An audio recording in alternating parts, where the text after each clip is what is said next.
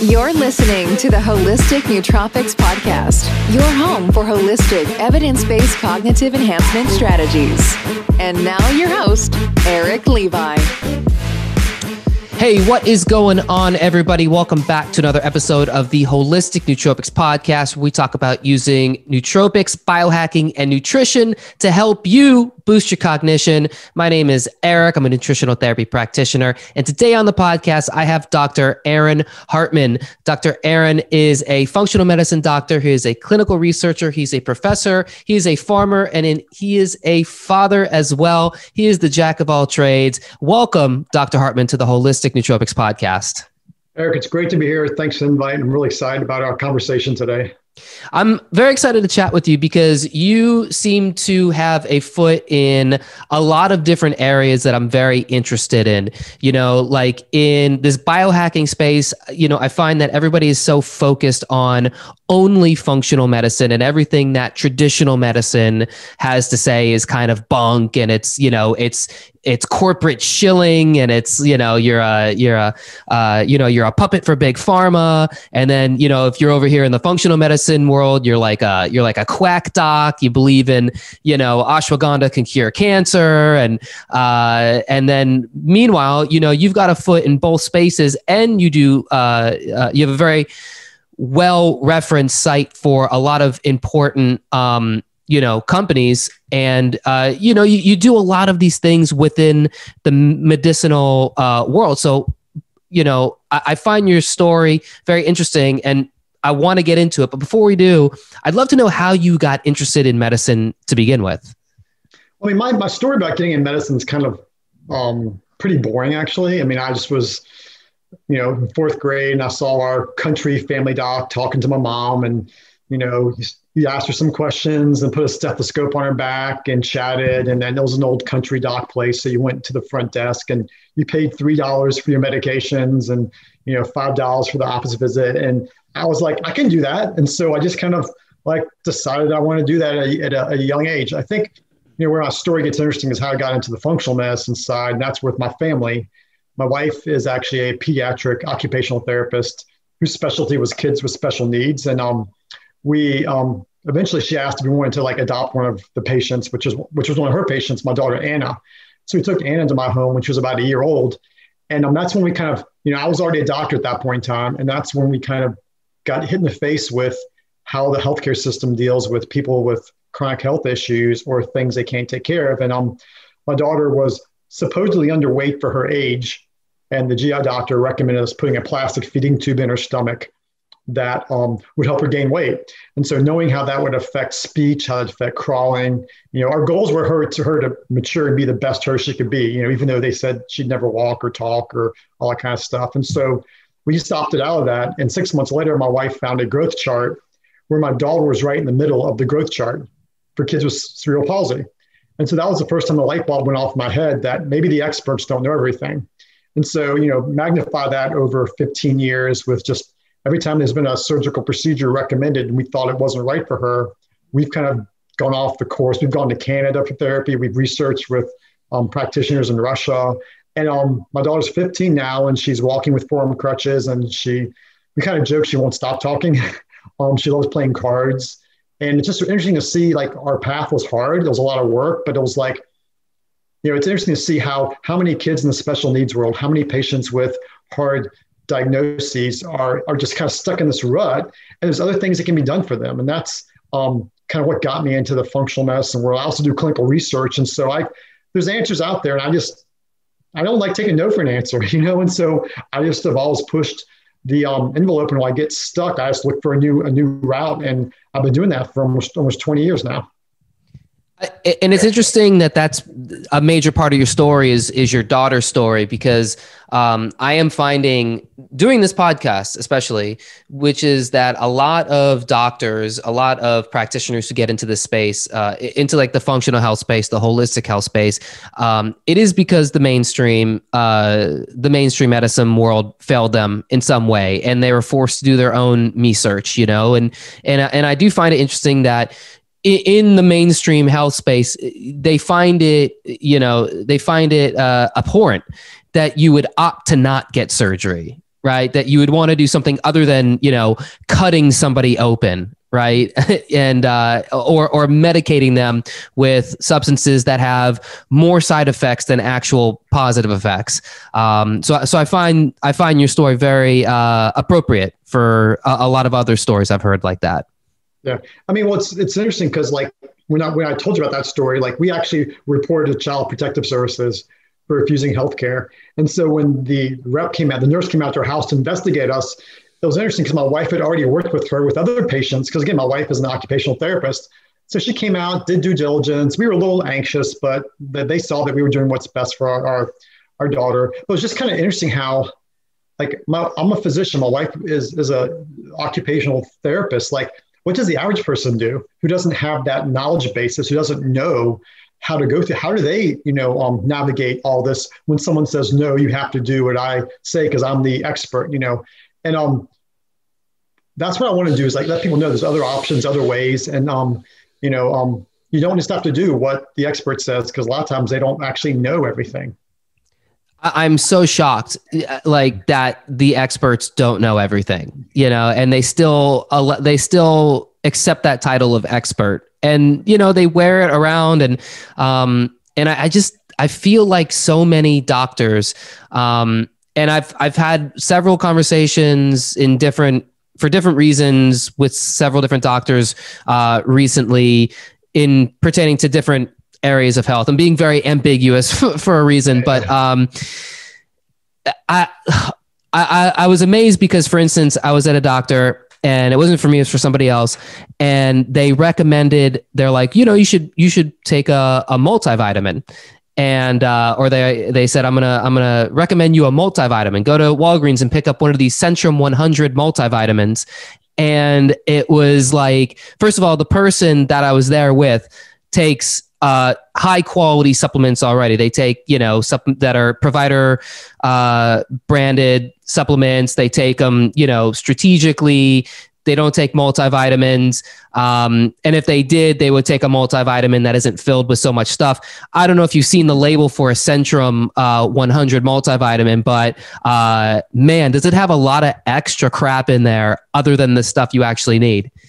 But you know what they call those vitamins? When I was in the hospital, they used to call those vitamins bedpan pills because grandma would take her pills. She'd be in the hospital. I'd be taking care of her as her hospitalist and it'd go right through her and pop out in the bedpan. And you look at that, and one of the ingredients you'll see is um, either zinc or titanium dioxide as a coating. Wow. It's a, it's a metallic coat. And if you have low stomach acid, you won't break it down.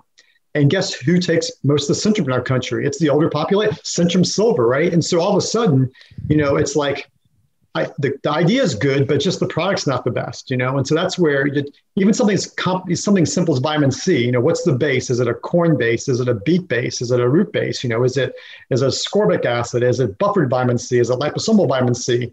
I'm finding that nutrition is more complicated than pharmacology, you know, and that's where I think a lot of people don't understand that, you know, even something as simple as vitamin C, there's multiple different types, different forms, and even different sources. You know, my wife, for example, can't tolerate most buffered vitamin C because their corn based. And so the one we use is actually based from a root from South America.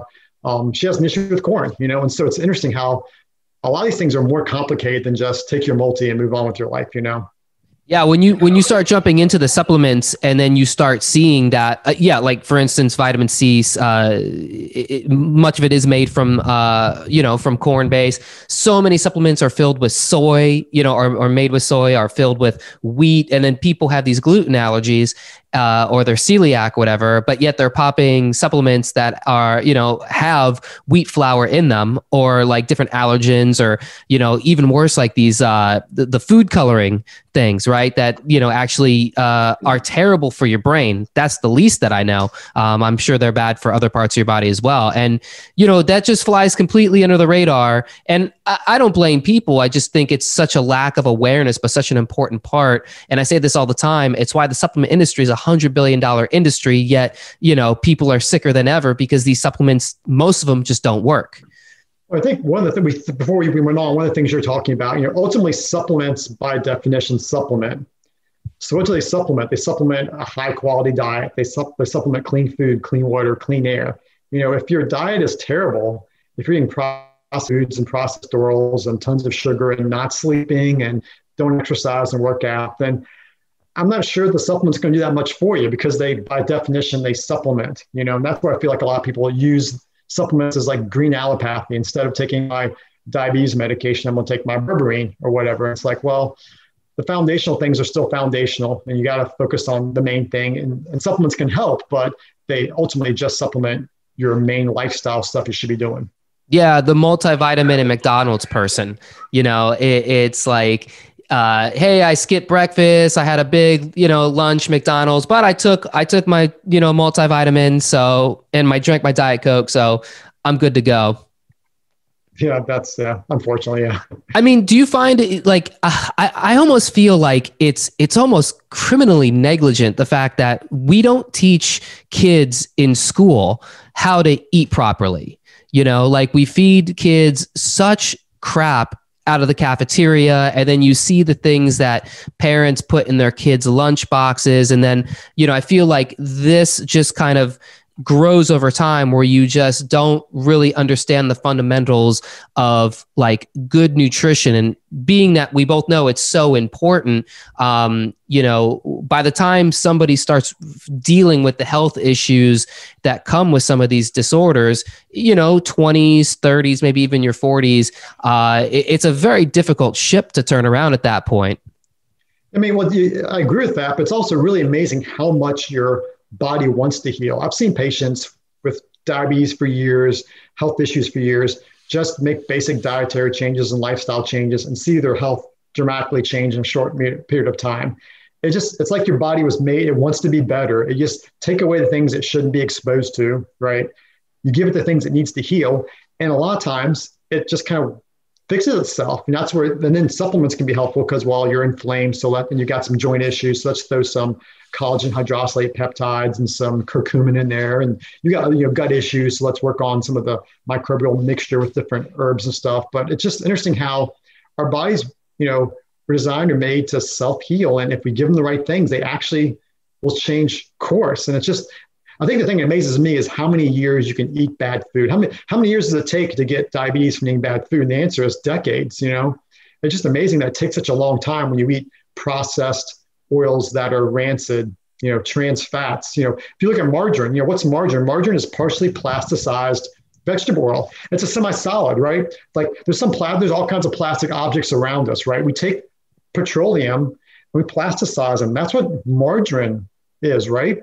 And yet you eat that for years. It takes years for you to get ill from that. I'm like, I put the wrong gasoline. I put diesel in my gas car. It's done, right? But our bodies are just so much smarter and can work and work the way around that. And that's why I think human, you know, we're not we're not machines. We're we're complex, interconnected organisms that interact with the information, the food, the information environment. You know, the, the whole idea of genetics that I, was one thing that's kind of interesting to me, like the whole genetic movement where you know, we map the human genome, and there's you know 23,000 genes in your in your um your your body, your chromosomes, right?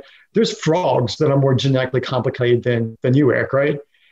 But why can you think and walk and talk and do all these kind of things? Because this microbiome is a million genes in the bacteria in and on your body. And all of a sudden now, your phenotype or your expression, your personal, your physiology expression is not just your genes, it's your it's these things that live in and on your body. And that degree of complexity allows humans to live anywhere on the planet, you know, from north from the North Pole area to the South Pole to the, the Mediterranean area. Our, it allows our diets to vary. What's a perfect diet? You know, if you're in Okinawa, it's going to be different than if you're Sardinia. It's going to be different if you're in Loma Linda, Nicoya, um, Coast, um, um, Costa Rica. But these are all different blue zones where people live to be 100 years, right? And that's why I think just giving our bodies real food um, in the right situation, it, it's amazing how powerful food is medicine. It's amazing how powerful that can be. And so, you know, when you see a lot of these people come into your practice and and you know, you're able to kind of help them get back on the right track. I don't want to say reverse. I'm sure you do help reverse a lot, but I'm sure there's there's a lot of people who are works in progress. Um, you know, when it comes to food, like what do you see people's biggest um, problem with food is? I think people don't understand where food comes from.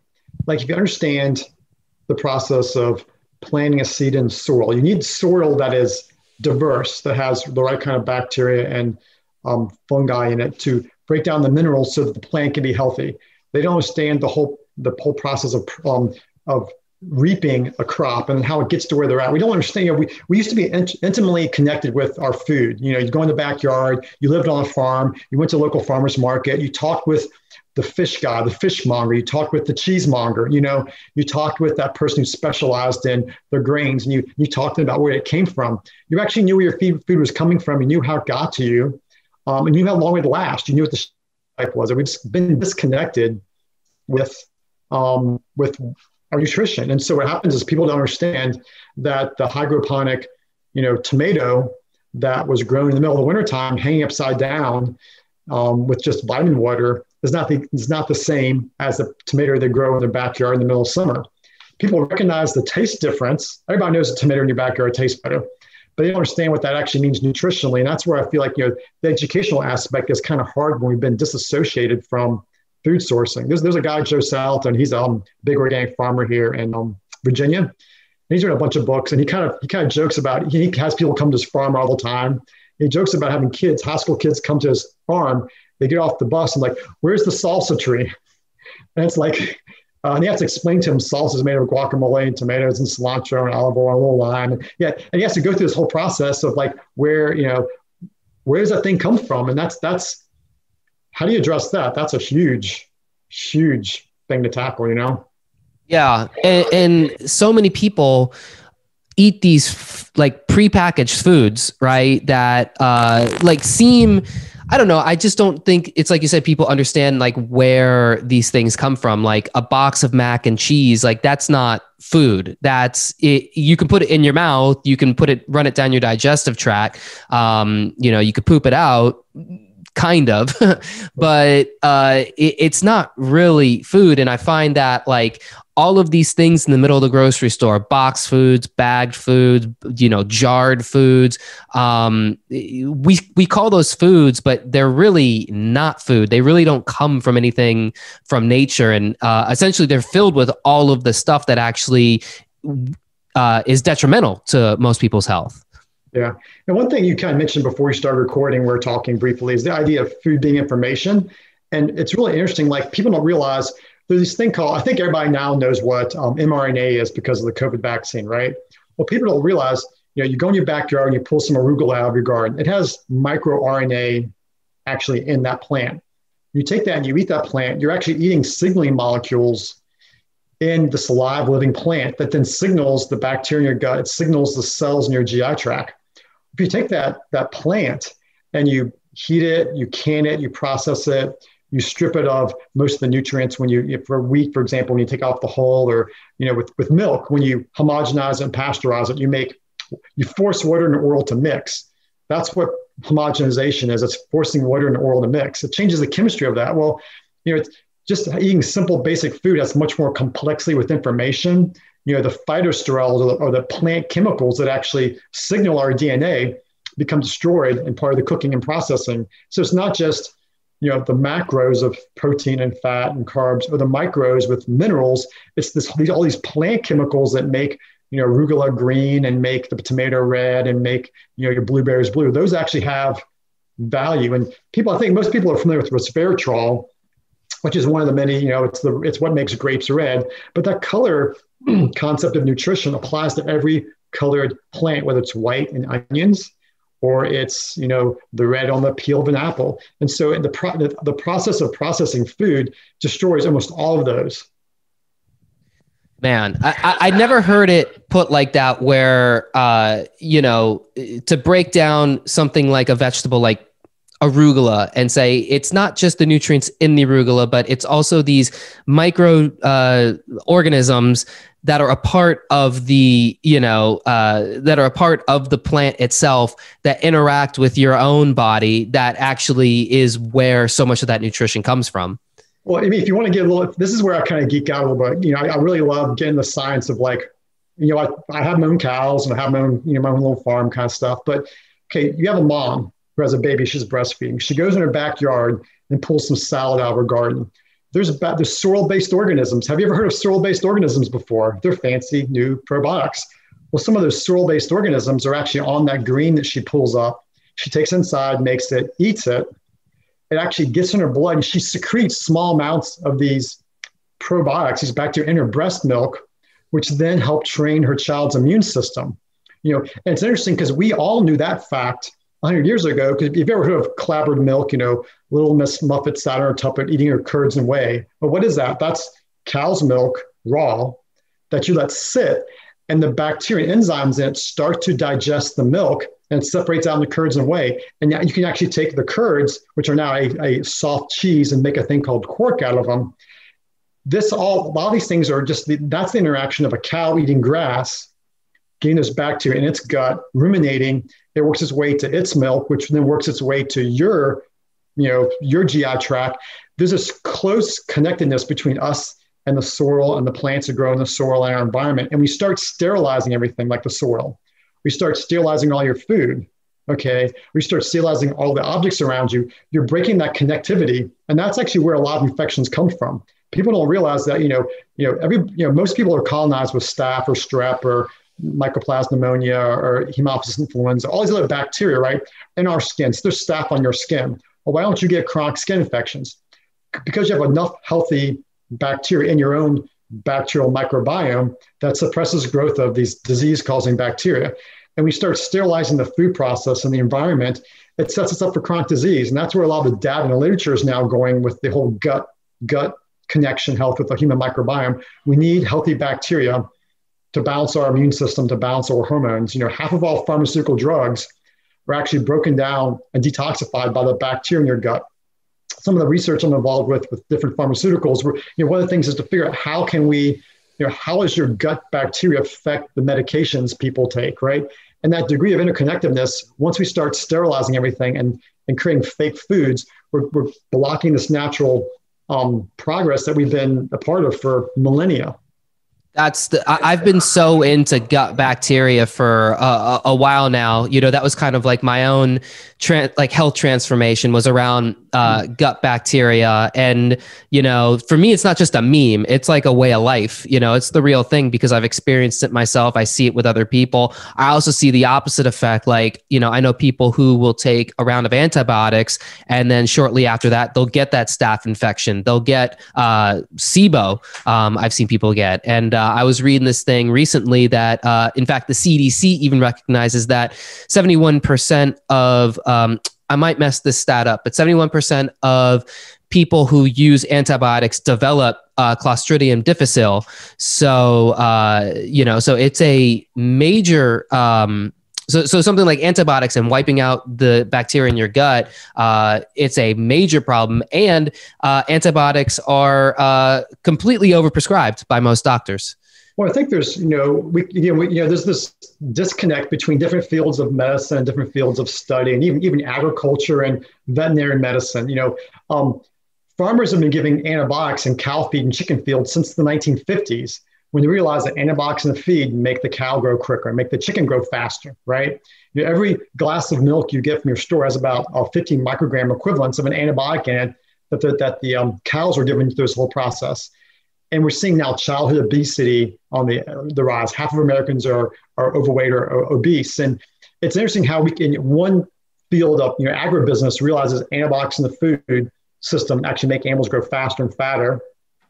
But then on the human side, we're like, oh, antibiotics, take all you want, won't affect your health. I'm like, there's a massive disconnect, you know, and that's where you know just educating people. That there's a reason why organic food is healthier for you, and grass-fed, grass-fed beef is healthier for you. And it's more than just what the cow eats. It's the whole process of like how the cow gets to your to the store, what it's fed before. You know, think about cows, for example. Cows are ruminators, they ferment.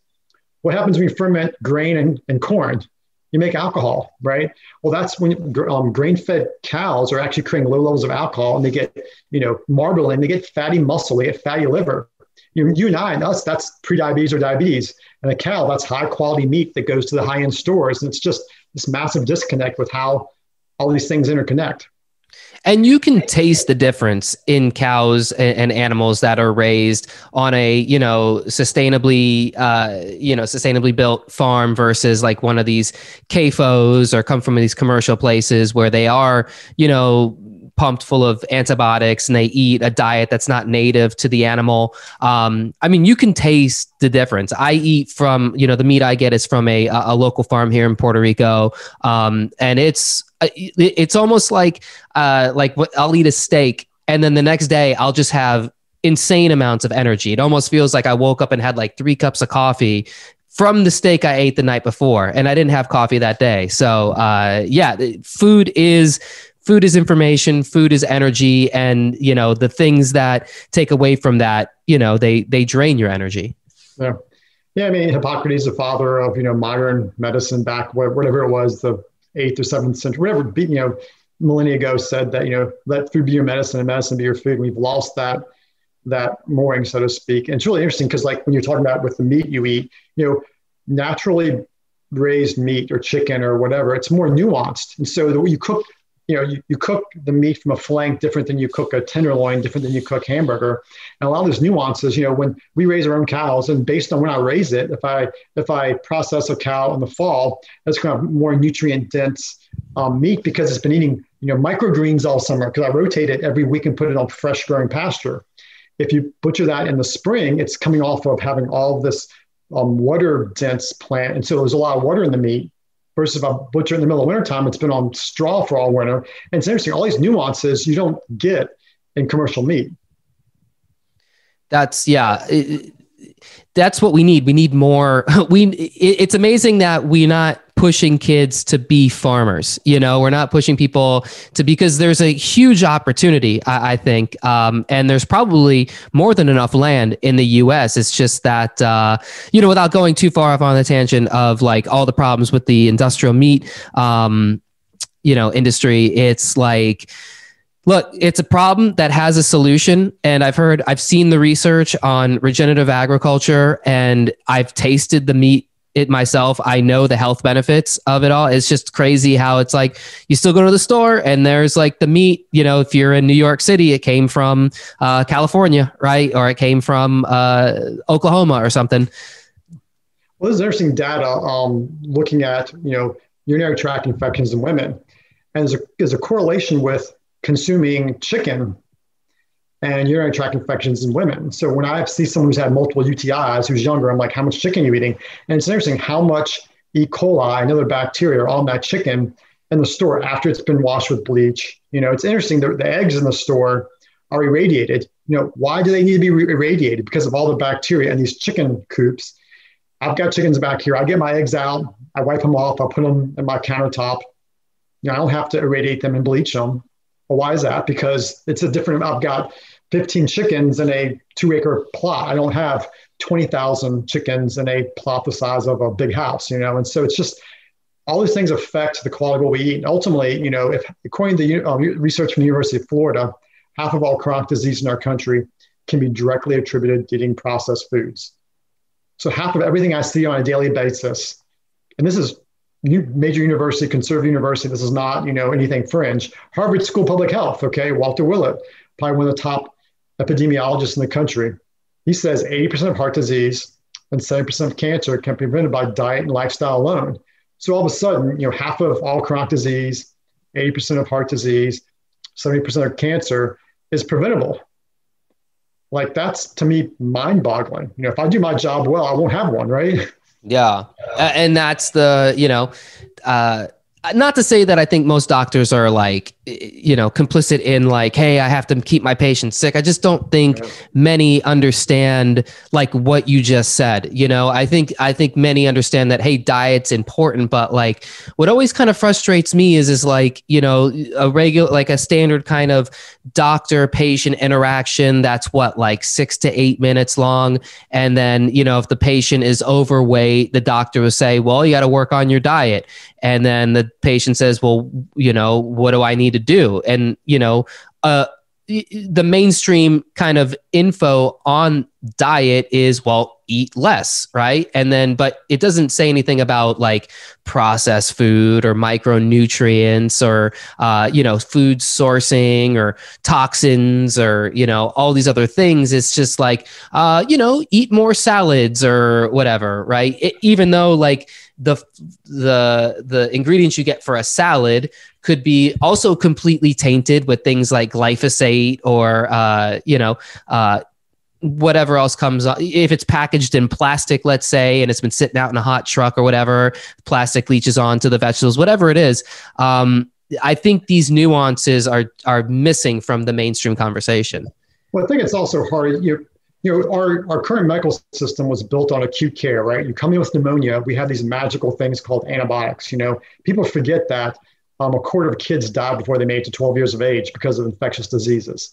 You know people forget that anywhere from a quarter to a third of women would die in childbirth from some kind of puerperal fever, right? These these things that don't happen anymore. And so we had these magical things of antibiotics, acute care, changed the whole course of medicine. In our model today, you know, now we're dying of chronic illnesses that require more time and more more cognitive work, but our system is still built around acute episodes of care.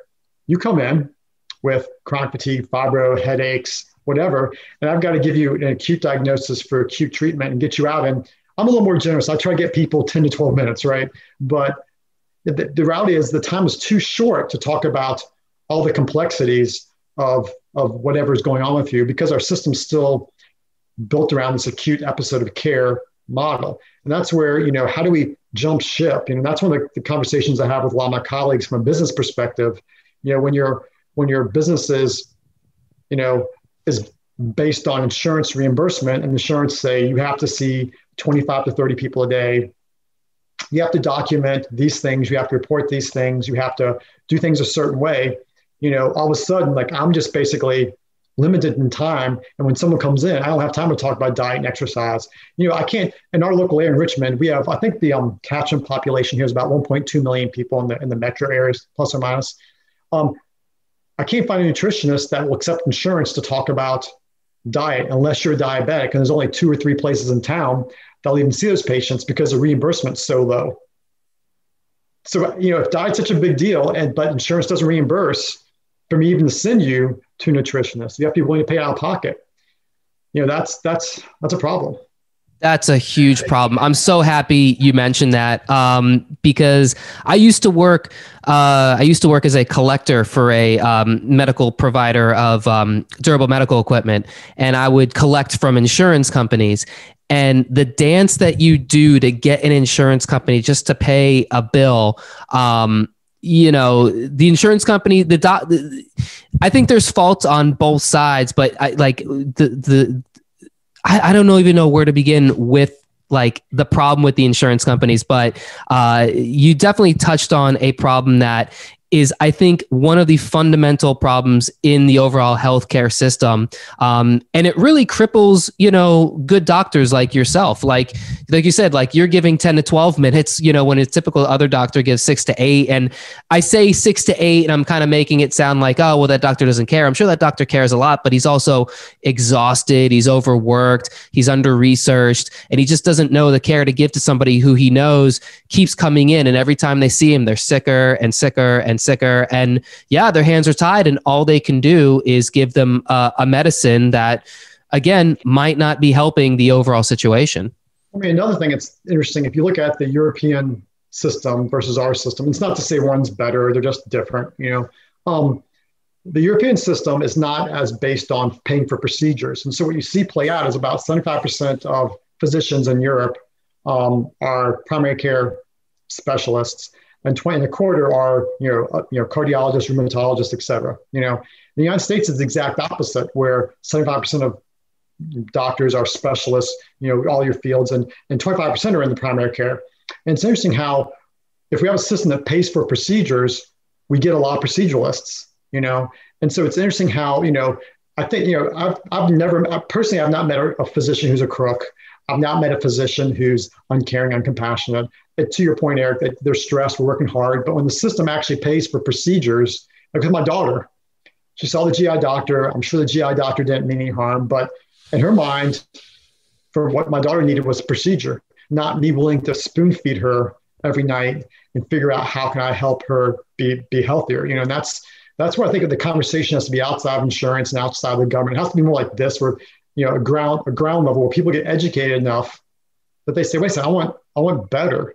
And they have to and they have to be willing to put a little bit of their skin in the game, you know, because ultimately insurances, they're all trying to cut costs. That's just the way companies sold on the S&P 500. Their purpose, it took me years to really understand this and believe it, but the purpose of any company sold on the S&P 500 is to create value for its shareholders. And in these big insurance companies, their primary purpose is not to provide healthcare, is to create value for the shareholders. And so I think we're that's just, that's just part of a systemic issue, and I think we have to jump ship.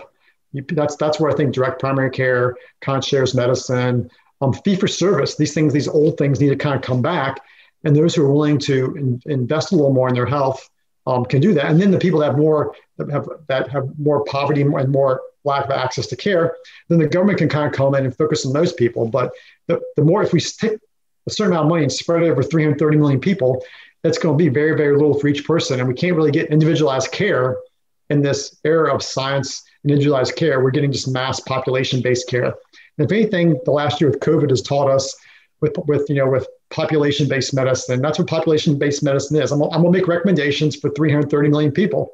Mm-hmm. But that, that recommendation, Eric, will not apply to you because you're a guy in Puerto Rico. And this recommendation for the average male, female, multi-ethnic, multi-age person. These people don't exist in the real world. You know, individuals exist in the real world. That's the oh man, that's a, and, and then they do you know the, like the general sweeping recommendations for everybody, and it's like the the the food pyramid or the the my plate or whatever, right? It's like everybody should eat this diet, right? Everybody should take uh you know these medications. Everyone should get this vaccine. Everybody should do this, and it's like like how is it that uh, that diversity is so celebrated. Like we're all different, but yet we all have to comply to the same constrictions. Yet our biochemistry means so much, but it also means so little to the regulators, right? Like it means yeah. so much to, you know, a woke like a woke bank, but it doesn't mean anything to where it should actually mean something, which is the healthcare system. Yeah. And that's what I think, you know, functional medicine practitioners, what, we, what we're good at is talking to a person, you know, ask people where they grew up, ask people what country they're from, um, what their ethnicity is, ask them about their obviously blood pressure and weight and those kind of things, ask them about their history of trauma, ask them about their food, ask them about, I try to learn as much as I can about that person in the two hours I see them when I do an intake, because I realize that that individual in front of me is a product of not only their past history, but their parents and their grandparents. There's actually this thing called transgenerational epigenetic priming. Okay, what that means is when a, when mom was a egg inside of grandma, uh, when sorry, mom was inside when when a little girl was inside her mom, when her mom was inside of grandma, what grandma was being exposed to was actually genetically priming the granddaughter for that same environment. And we have data from that from World War II, either from Mao's China or from the um, the uh, Dutch bread famines. Um, women who were from upper upper class, upper middle class, who had access to a lot of food, who were starving, those kids, if they went back to that same upper class and they grew up in that environment, plenty of access to food, had higher obesity, diabetes, cardiovascular issues.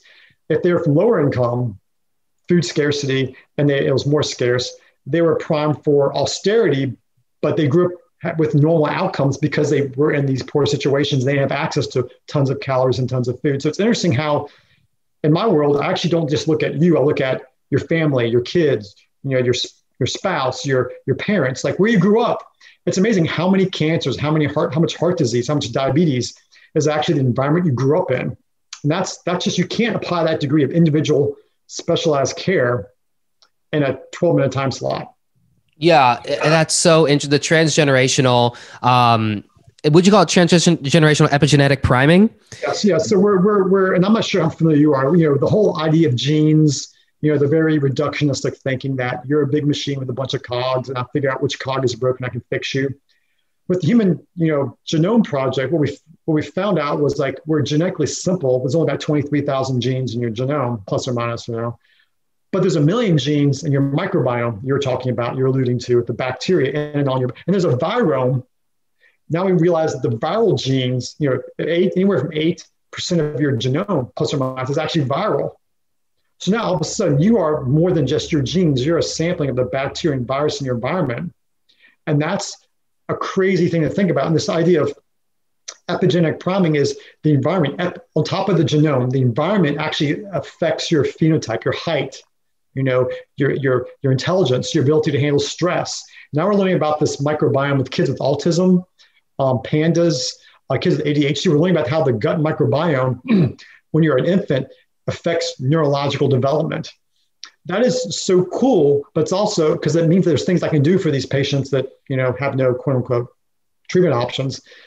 But at the same time, it's, it's daunting because it means what we're doing today is going to affect our children and grandchildren tomorrow. And we need to kind of get on it, you know? Yeah, that's the scary thing. I think about this all the time. Um, uh, environmental toxins, right? All these different chemicals we're just surrounded by. Like we just kind of take them day by day. We don't realize like the little dents they're making in our armor every day like okay we don't feel it we don't feel the chemical uh you know the, the chemical concoction, uh, concoction that makes up you know uh like the paint in our walls or the the uh, the smoke in the air that we breathe you know like i lived in new york city for years like the brake dust and like living by gas stations and by the airport and just mm. constant cars and smells and all these things um but that's going into my body. It's being stored somewhere. Um, and that information is going to get passed down to uh, my children, who's going to pass it down to their children. And by that point, like, who knows? Who knows what what the generations will look like? Well, it's interesting you mentioned New York because um, there's an article um, that I po- posted on public um, on social media probably last summer talking about air air quality and COVID.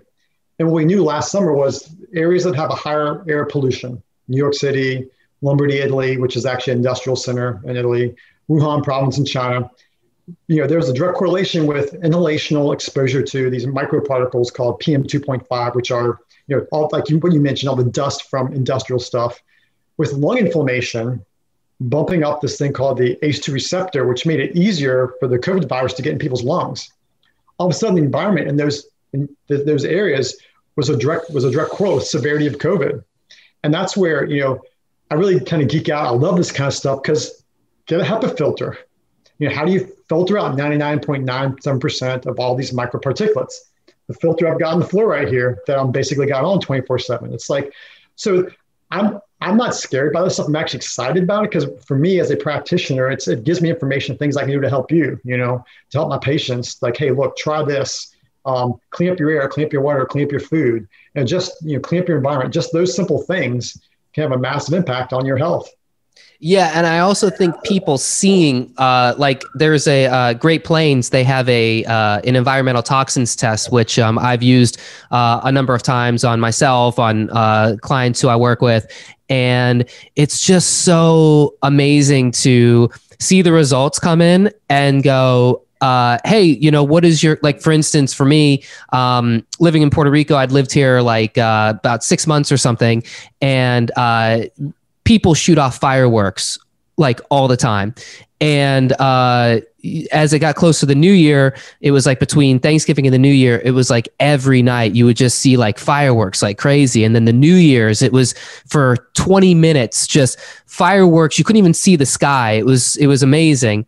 Then I took the Great Plains environmental toxins test and tested off the chart for, I, for whatever the chemical is in uh, fireworks that's uh, that's considered an environmental toxin. I tested like off the charts for that thing. Uh, so when you see that, and then you start putting the pieces together you go oh okay these things are real and they have a real impact. And that, that was the urine test you did? Yep. Yeah well and that so detoxification right? If you alkalinize your urine with minerals plants it actually improves your kidney's ability to detoxify. So the fact that you are actually peeing out tons of toxins it's like great you're actually getting stuff out of your system. So as long as you're maximizing detoxification with magnesium potassium you know um, plant-based diet, lots of clean water, mineral water, you know, getting things, healthy fats to help your liver detoxify. You can get exposed to that and kick it out. You know, I'm always concerned when I see patients and I test them, I don't pick up toxins because I'm like, whoa, it's not coming out of your body. And I'll do like a, like a provoke provoke test where I do like, you know, um, some kind of provoking agent. All of a sudden stuff starts pouring out. Wow. That, that's something I see a lot of. And it's like, whoa, like we need to get you detoxifying. We need to get you sweating more and peeing more and, you know, pooping once or twice a day and, you know, taking deep, even deeper breaths, you know, you know, yeah, I was really, I, I do a lot of, you know, biohacking on myself and I have this device that checks VOCs in my house. And so, and CO2 and, you know, carbon monoxide stuff. And so I just breathed on it to see how accurate it was and just look at some things, you know, I saw my, my VOC levels, you know, skyrocketing.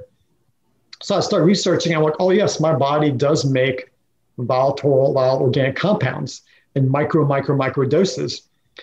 I'm not breathing deeply and breathing sufficiently, it's going to affect my body's ability to get these things out. And it's interesting how chronic stress lowers your lung volumes, it lowers your tidal volumes. You know, it, you can still maintain your oxygen levels, but it affects your lung capacity. And it's interesting how many ancient traditions, um, whether it's Ayurvedic medicine, traditional Chinese medicine, um, focus on things like deep breathing as a part of healthy living. And then now in the, the neurological literature, we know deep breathing is a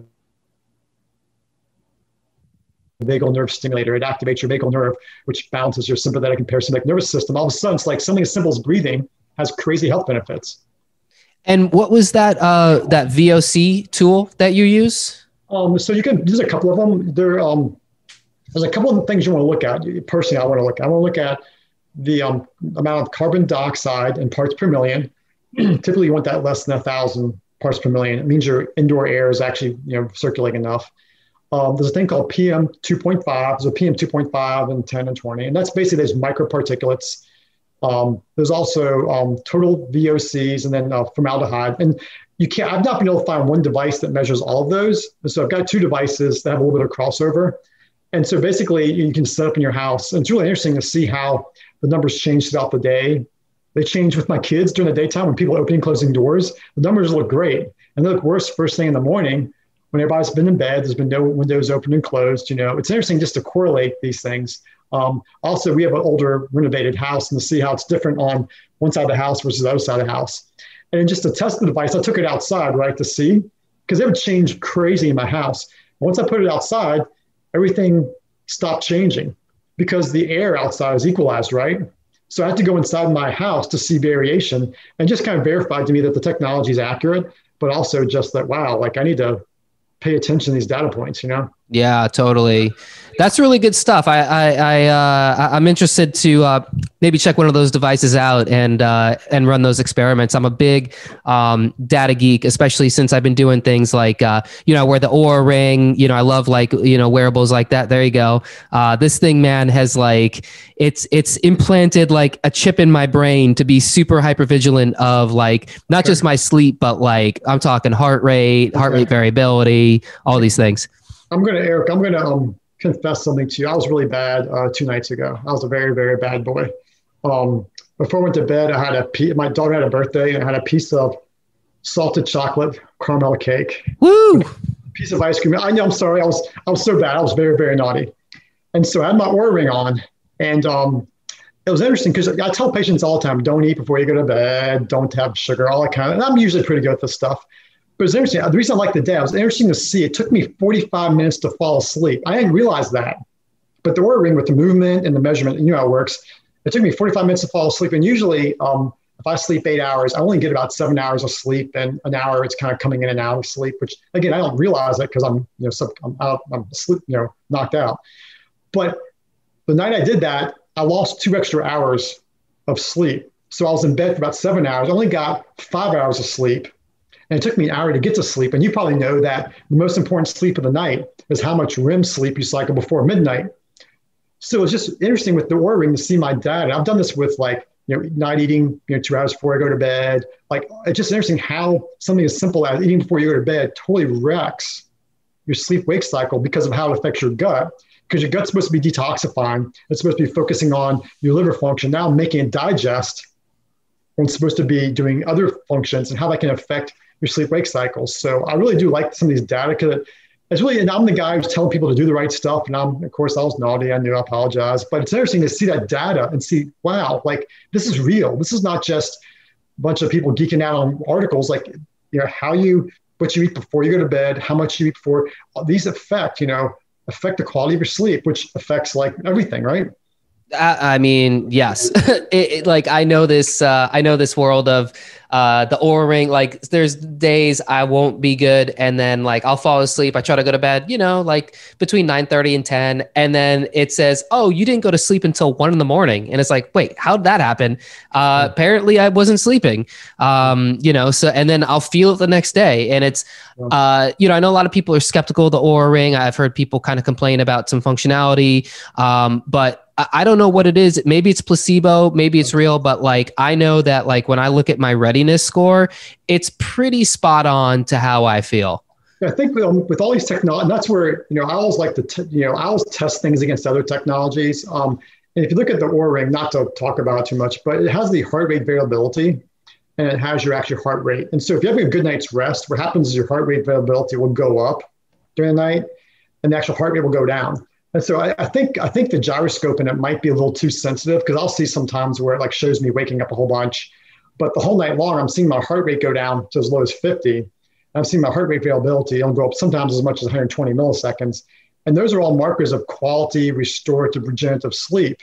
But the ring is saying I didn't get enough REM or whatever. So I think like with any of these technologies, they're still in the works. They're still being there's still bugs being worked out. You know, um, if the Oura Ring or any of these other ones were the bee's knees, that's all you'd hear about. So that's where I will use different technologies. I've got one ring that like measures my pulse ox as well. Problem with that is if I knock it off, it tells me I'm dying. I'm not dying, you know. So it's just I think all these things you have to gauge them against how you feel, and for me, brain function the following day, other technologies, and ultimately, you know, um, there's still a lot of gaps with the accuracy of some of these things. Agreed. I, I, totally agree. Um, you know, I think it's I think it's with any of this information, it's it's not medical advice. It's not talking to your doctor. It's it's basically like here's like a, a pretty good ballpark idea of where you are. Um, and it's also you don't want to get you don't want to miss the forest through the trees. You want to kind of look at the overall trends and you know um, again like maybe it missed a night or two of like hey it, uh, some inaccurate readings. I know for me like i get a lot of white spots in the Oura ring readings but um overall like if it says hey i'm in 80 or above readiness i feel great that day. If i'm you know i've had some days where it's like i'll wake up and it's like dude you did not do well yesterday. What happened to you? And uh, and i got a failing grade on the readiness score. Um, i'll feel it I'll feel like it. And, uh, you know, it's funny because years ago, it, it, that would have just been normal for me, right? That like that kind of like low level uh, energy, low level, like whatever. It's like, oh, it's just another day. Ah, oh, it's a crappy Monday. But now I can look at that and I go, oh, well, something is affecting my heart rate. Something's affecting my deep sleep. Something is affecting my body temperature. You know, what could that be? So this information's yeah. good. Well, Dr. Hartman, this has been uh, a very fun interview. I really appreciate your time. Um, for the holistic nootropics listeners who'd like to, uh, you know, check out more of your work or maybe contact you, where's a good place for them to go online to find you? And the best place is just our practice website, which is richmondfunctionalmedicine.com. Um, that's like the landing page for our online community, um, for um, all of our social media stuff. I do um, um, some blog posting that all these articles are on the educational tab. I'm trying to create the website as like an educational resource for people who want, like there's a reading list there, books I've read that I think would be useful for people. So I just, if people want to learn more about me or functional medicine in general, that's what I'm kind of setting my website up for. Or even, even like where you're at in Puerto Rico, for example, you know, is there a functional practitioner there? Um, and so with the community I've set up, you know, we have a health coach, I've got myself doing education, and then um, a nurse practitioner kind of helping my community online just to kind of get educated and take charge of their health. So all those resources are available on our website, richmondfunctionalmedicine.com.